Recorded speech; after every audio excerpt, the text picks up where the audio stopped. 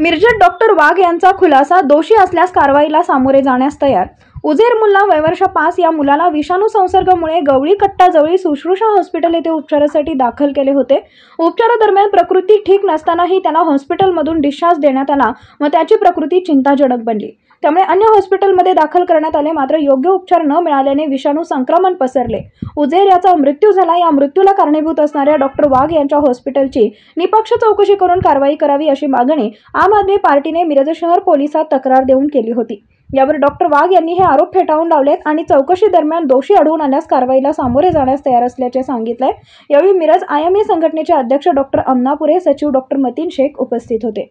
चोवीस जूनला एक बालक उझेर मुल्ला म्हणून एक महिन्याच्या तापानं ॲडमिट झाला होता. त्याच्या सर्व परिपूर्ण तपासण्या करून त्याच्यावर पूर्णपणे उपचार करून त्याचा ताप कमी झाल्यानंतर तो पूर्णत बरा झाल्यानंतर पालकांना योग्य ते काउन्सिलिंग करून सर्व त्यांचे रिपोर्ट्स फाईल करून मी त्या बालकाला औषध तोंडातनं औषधं करून घरी पाठवलं. परंतु दुर्दैवानं तिसऱ्या दिवशी त्या बालकाला परत पोट फुगून पोटात दुखायला लागलं म्हणून सर्जनकडे नेल्यानंतर सदर बालकाच्या मोठ्या आतड्याला ह्या टायफॉइडमुळं भोकं पडल्याचं दिसून आलं. त्याच्या लिव्हरमध्ये सुद्धा इन्फेक्शन जंतू संसर्ग झाल्याचं दिसून आलं.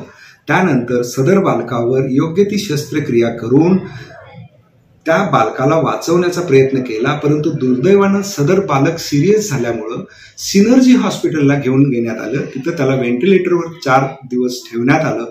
परंतु अत्यंत दुर्दैवानं सदर बालक हे दगावलं. यामध्ये मला एकच गोष्ट सांगायची आहे की एक सिनियर बालरोगतज्ञ या नात्यानं नुसता बालरोगतज्ञच नाही तर डॉक्टर या नात्यानं कुठलाही डॉक्टर आपल्या रुग्णाला कॉम्प्लिकेशन्स व्हावे रुग्ण दगावावा असं त्याला कधीच वाटत नाही. परंतु तदनंतर एका चॅनलनं अतिशय चुकीची तोकड्या माहितीवर आधारित अशी बातमी देऊन माझी खूप मोठी बदनामी केलेली आहे. त्यामुळं मला सदर चॅनेलवर येऊन ही गोष्ट परत स्पष्ट सांगावीशी वाटली. माझ्याकडून या बालकाच्या उपचारामध्ये कुठलाही हलगर्जीपणा झालेला नाही कुठलीही दिरंगाई झालेली नाही. Shamnapure president I M A Miraj माझे सहकारी doctor Matin Shaikh.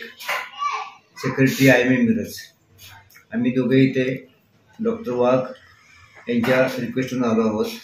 आम्हाला असे कळाले आहे की काही प्रसारमाध्यमांनी एका टायफॉइड रुग्णाच्या कॉम्प्लिकेशनमुळे झालेल्या मृत्यूनंतर काही गैरसमज पसरले आहेत व त्याबद्दल प्रसारमाध्यमावर बदनामी चाललेली आहे. व त्यांचे असे आरोप आहे की डॉक्टरांनी काही एक्सपायरी झालेल्या अँटीबायोटिक दिल्यामुळे ओप्रोक्स अँटीबायोटिक दिल्यामुळं मुलाचे कॉम्प्लिकेशन वाढलेत आणि त्यामुळे तो मुलगा दगावला म्हणून. तरी पण आता ह्या बाबतीत मी एवढा सल्ला देईन की प्रसारमाध्यमांनी कुठली बातमी देण्यापूर्वी व्यवस्थित दोन्ही बाजून ऐकून घ्याव्यात दोन्हीकडची चौकशी करावी आणि मगच बातमी द्यावी. कारण त्याच्यामुळे एखाद्या डॉक्टरला मानसिक त्रासाला आणि बदनामीला सामोरं जाऊ शकतं. त्याच्यामुळे त्याच्या पर्सनल आयुष्यावर किंवा त्याच्या बिझनेसवर किंवा त्याच्या रुग्णसेवेवर विपरीत परिणाम होऊ शकतो.